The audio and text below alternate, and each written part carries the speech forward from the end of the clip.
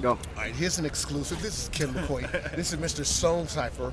And uh, tell us, now, you told us they're using your backyard for what now? They're using my backyard for their design tent, what they call their uh, art world. It's where the designers go in and take care and design and put together everything their projects are going to do for the house.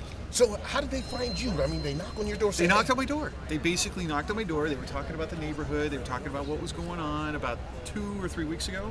And then um, I told them, hey, you can use my property. So we're know, talking about the can do it." production team for Extreme Makeover that's going to be seen on ABC. This is scheduled to air in March, but this is the inside scoop. Inside scoop. I like that. Now, so how long are they going to be using your back? Like, do you have a dog or anything? I have two dogs. They're going to be. Uh, he got to move his dog. yeah, I got to put him in the do? doggy hotel. Yeah, Really? yeah I'll put him next door. Okay. next door.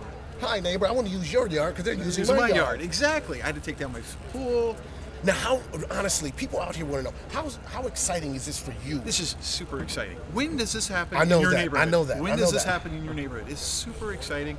Uh, you know, it's a little inconvenient, but hey, it's for a Now, good you, cause. I'm just asking a question. Is there a significant other, or did you have to check with anybody? Is you single?